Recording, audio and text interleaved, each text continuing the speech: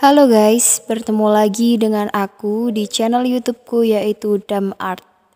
Nah, kali ini aku akan menceritakan tentang gangguan ketika sholat tahajud.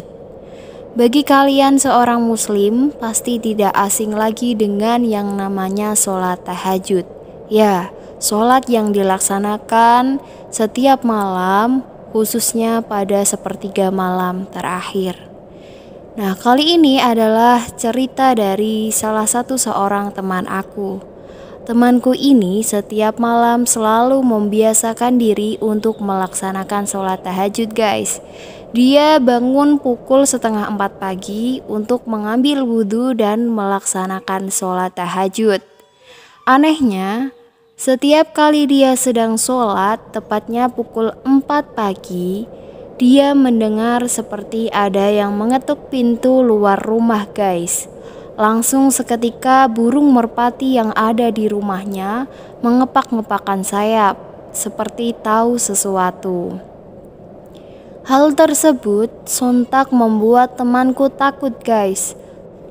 Tapi tidak membuatnya untuk berhenti sholat tahajud setiap malam, guys. Wah, teman aku ini rajin sekali ya, guys.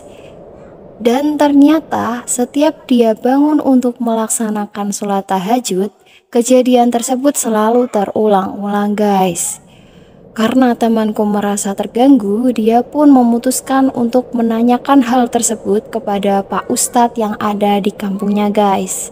Kemudian Pak Ustadz menjawab bahwasanya gangguan-gangguan tersebut hanya ingin mengecoh iman kita guys agar tidak melaksanakan sholat tahajud lagi. Pak Ustadz pun menyarankan kepada temanku untuk tidak takut ketika ada gangguan-gangguan seperti itu lagi. Karena makhluk-makhluk seperti itu hanya akan mengganggu orang-orang yang takut saja guys. Setelah mendapatkan jawaban dari Pak Ustadz tersebut, temanku semakin yakin untuk lebih rajin lagi melaksanakan sholat tahajud guys. Dan benar saja, setelah temanku terbiasa sholat tahajud, gangguan tersebut sudah tidak ada lagi guys. Oke, sehabis ini apakah kalian masih takut lagi jika mau sholat tahajud guys?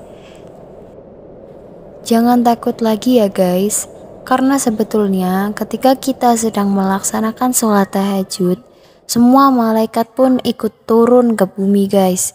Mereka akan mengamini semua doa-doa kita agar segera dikabulkan oleh Allah. Nah, mungkin itu yang bisa saya ceritakan pada kesempatan kali ini guys.